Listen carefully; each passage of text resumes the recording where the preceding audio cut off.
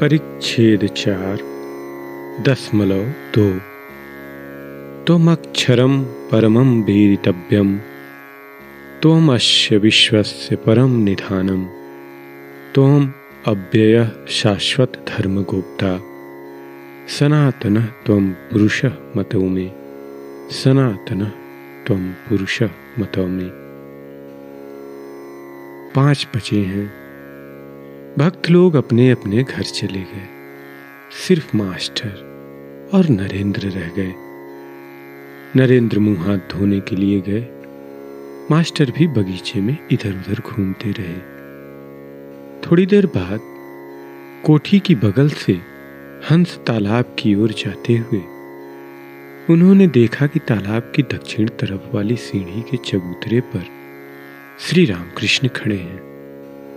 और नरेंद्र भी हाथ में गढ़ुआ लिए खड़े हैं। श्री रामकृष्ण कहते हैं, देख, और ज़्यादा आया जाया करना। तूने हाल ही में आना शुरू किया है ना? पहली जान पहचान के बाद सभी लोग कुछ ज़्यादा आया जाया करते हैं, जैसे नया पति। नरेंद्र मास्टर हंसे, क्यों? आएगा नहीं? नरेंद्र ब्रह्म समाजी लड़के हैं।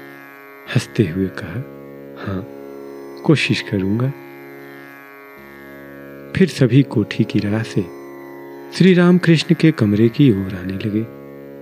कोठी के पास श्री रामकृष्ण ने मास्टर से कहा, देखो, किसान बाज़ार से बैल खरीदते हैं। वे जानते हैं कि कौन सा बैल अच्छा है और कौन सा बुरा। वे पूंछ के नीचे हाथ लगाकर परखते हैं। कोई कोई बैल पूंछ पर हाथ लगाने से लेट जाते हैं। वे ऐसे बैल नहीं खरीदते। पर जो बैल पूंछ पर हाथ रखते ही बड़ी तेज़ी से कूद पड़ता है, उसी बैल को वो चुन लेते हैं। नरेंद्र सी बैल की जाति का है।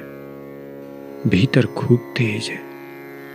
यह कहकर श्री रामकृष्ण मुस्कुराने लगे। फिर कोई कोई ऐसे होते हैं कि मानो उनमें जान ही नहीं। न ज़ोर है, न दृढ़ता। संध्या हुई। श्री रामकृष्ण ईश्वर चिंतन करने लगे। उन्होंने मास्टर से कहा, तुम जाकर नरेंद्र से बातचीत करो और फिर मुझे बताना कि वह कैसा लड़का है। आरती हो चुकी। मास्टर ने बड़ी देर में नरेंद्र को चांदनी की पश्चिम तरफ़ पाया। आपस में बातचीत होने लगी। नरेंद्र ने कहा कि मैं साधारण ब्रह्म समाजी हूँ। कॉलेज में पढ़ता हूँ, इत्यादि। रात हो। अब मास्टर घर जाएँगे। पर जाने को जी नहीं चाहता।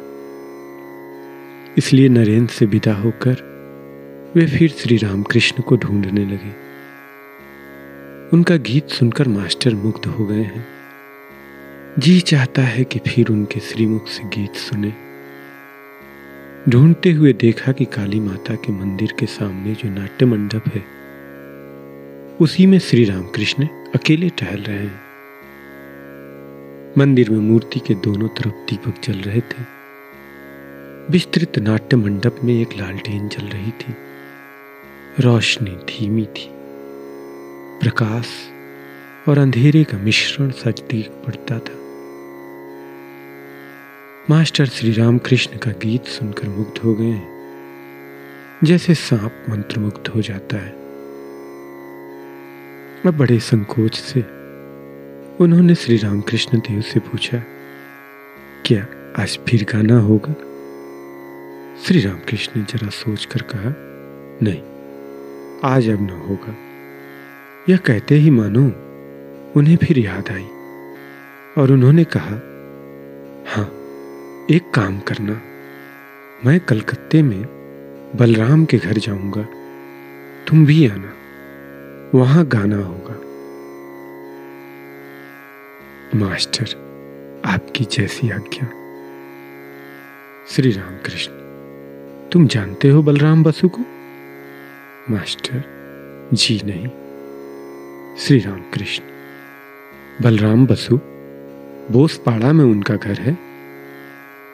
मास्टर, जी मैं पूछ लूँगा।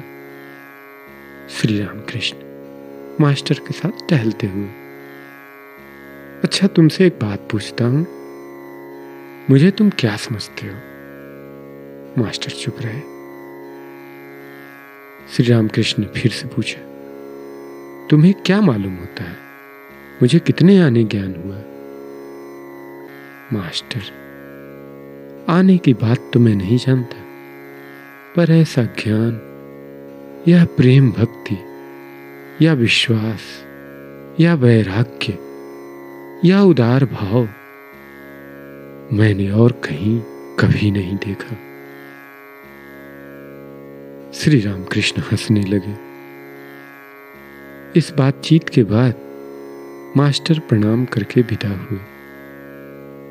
फाटक तक जाकर फिर कुछ याद आई।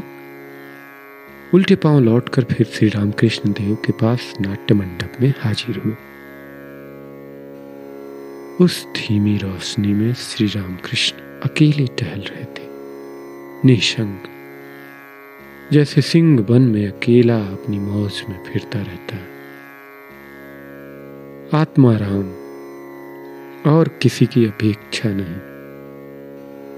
विस्मित होकर मास्टर उन महापुरुष को देखने लगे। श्री राम कृष्ण मास्टर से, क्यों सी? फिर क्यों लौटे?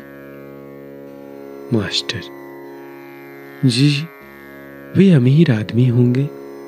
शायद मुझे भीतर न जाने थे इसीलिए सोच रहा हूँ कि वहाँ न जाऊँगा। यहीं आकर आपसे मिलूँगा। श्री राम कृष्ण नहीं जी, तुम मेरा नाम लेना। कहना कि मैं उनके पास जाऊँगा, बस। कोई भी तुम्हें मेरे पास ले आएगा।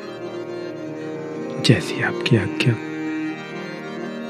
कहकर मास्टर ने फिर प्रणाम किया और वहाँ से विदा हुए।